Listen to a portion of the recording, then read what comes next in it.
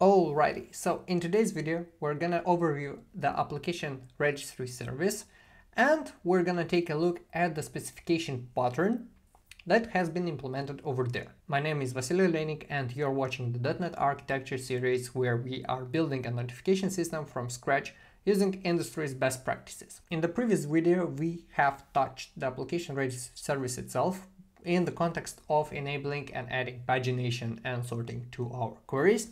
Today we're gonna take a deeper look into how it was all implemented and add the specification pattern that we have in other method of our application registry. Let's get started with the contracts. We have briefly touched it previously, so we have the iApplication repository, which has two methods, the getList async where we have enabled our pagination and the getByCode where we have implemented our specification pattern. Uh, the query itself is only one, the get application list query, which goes over here.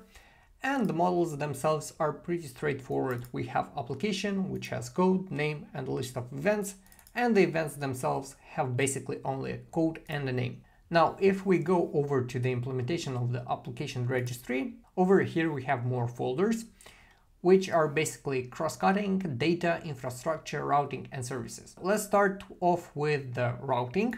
And over here we have the application endpoints. So the next thing is the application registry installer, where we basically have a couple of methods.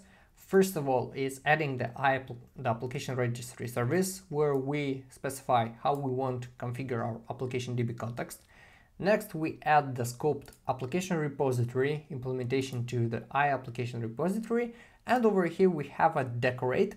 And I'll leave over here somewhere or in the notation a link to a video where I go in depth how we can implement decorator pattern inside our system. So this is basically a cache decorator for our iApplication repository. Over here we have the application model migrations where we basically get an application DB context, then we run our migrations and use app registry endpoints where we want to use our endpoints to get to our application service. Uh, next we have data, which is really big, but it's pretty straightforward. So let's get over with the models. We have the application data model with a code name and a list of event data models. Over here we have the event data model, basically code name and reference to the application itself. Some people might want to use the models from over here inside their entity framework. I don't really like that since I want to let the contracts part evolve on its own and let the event or the data models uh, evolve on their own. So I don't like coupling myself to the models from the contracts in this regard. Uh, next we have configuration, which is a basic IEntity type configuration. I also have a video on this. I'll link it over here somewhere where I go over how to correctly implement the configuration. The event data model configuration is really similar. We have a defined composite key defined over here, a code and application code. We have a proper, uh, the property marked as required and the relationship over here. Next is the mappings and this is essentially it's just some projections that some custom projections that we have over here. In a later video we're gonna go over Mapster which is overkill for two properties and a single list of other objects but we want to go over it nonetheless and see how it can be configured for larger projects and larger objects. The next folder is migrations basically an initial migrations for these two models.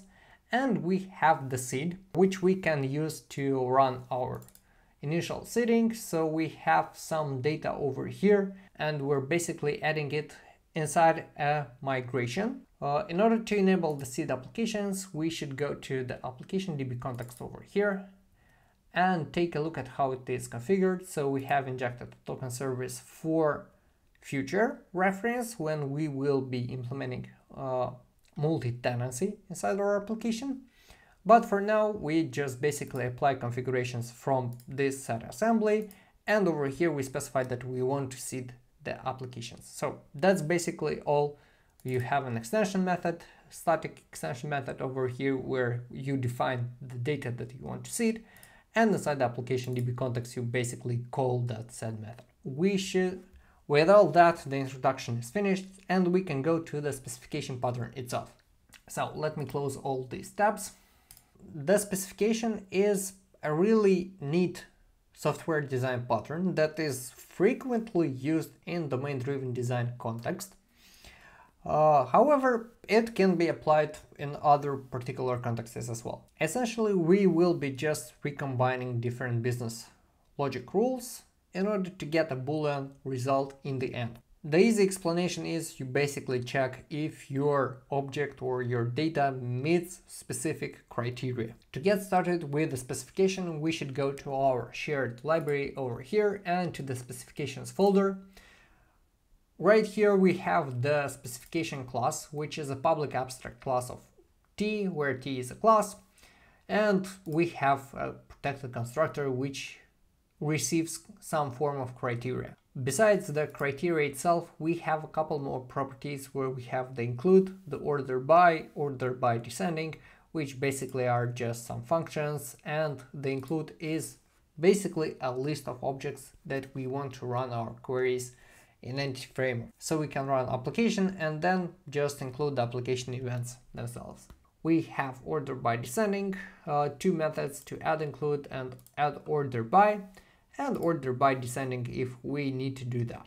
And this is basically everything from the specification part. So all our other specifications will inherit from this specification class and basically set up in their, their own criteria for matching the specification.